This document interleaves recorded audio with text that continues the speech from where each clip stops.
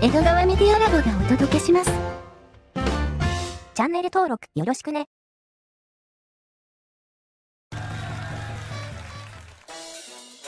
はい、どうも、ご視聴ありがとうございます。えー今回もですね、渓谷の小さなニュースの詰め合わせ、ミニニュースのコーナーやっていきたいと思います。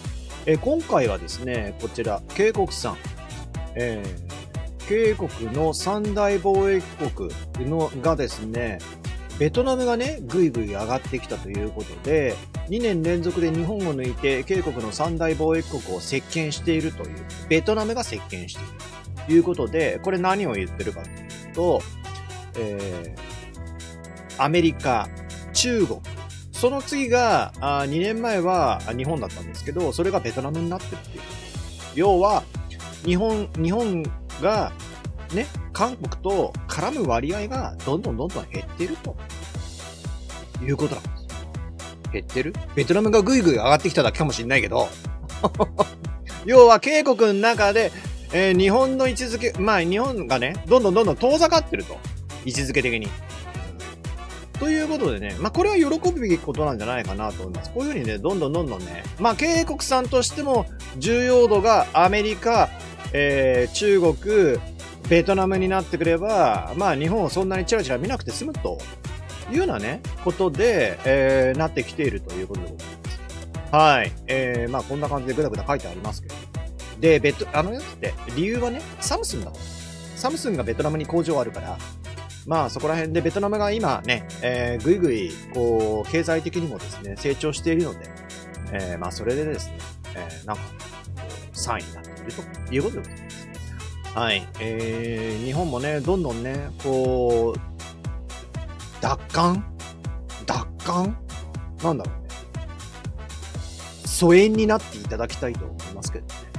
はい。えー、そうすれば、渓谷さんもなんか日本国内でなん、渓谷企業が、なんつうの、頑張る必要もないし、頑張る必要がなくなって来てほしいななんて思いますけど。はい。えー、じゃあ次。渓谷さん。中国で存在感を失う輸入相手国、渓谷、30年前の水準まで後退してしまいましたにだ。はい、ということでね、30年前っていつよ、話昨年の中国による輸入に占める渓谷の割合が6%台に低下したことが分韓中国、国、あ、韓中国交正常化翌年の1993年以来の30年で最低だ。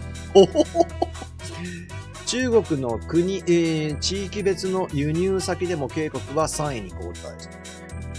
中国が輸入したもの、輸入した国ランキングで3位に後退したってことは中国にとって渓谷がまあ相手にされなくなったというか、これは良かったじゃん。疎遠になって。独り立ち？独り立ち？独り立ち？小離れ？わかんないけど。これは喜ぶべきことなんじゃないのかね。うん。えーこれはあ中国市場で韓国製品が競争力を失い、中国が韓国製品を求めていないことを示しており、韓国の対中輸出不振の現状を物語っている。あ、そういうことね。あー韓国製品に魅力を感じないってことか。えー、それが国交正常化翌年以来になってるってこと？ああ、もうやばいね。中国の人たちにも相手にされなくなったっていうことですよね。大変ですね。うんまあもちろん、まあそれはね、まあ別に渓谷に限らず、まあそれは日本もアメリカも、まあ中国の内需、な、あの国内企業がね、成長してくればだんだんだんだんそういうふうに、こう、じゃあ国内製品でっていうふうになってくるとは思うんですけどもね。えー、まあ渓谷さんがは、早々と、こう、退場と、レッドカードと、ということでね。えー、じゃあ次行きましょう。えー、次ちょっと見にくくてすいません。えーっと、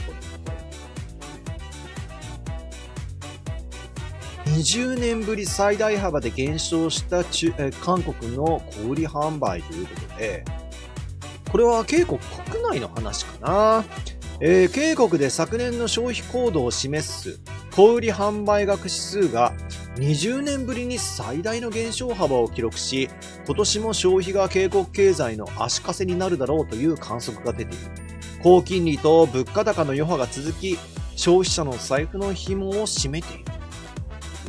えー、お、何？なんか、失われた何年とか始まっちゃうわけ？渓谷さん。あ あ、あそう。なんかな、日本にはな、失われた、失われたとかって言ってるけどな。はい。えー、じゃあ次行きましょう。次はね、今日の1枚です。ポン。核ボタンを押すキム・ジョン映像。ね。えー、で、これはね、こんなの。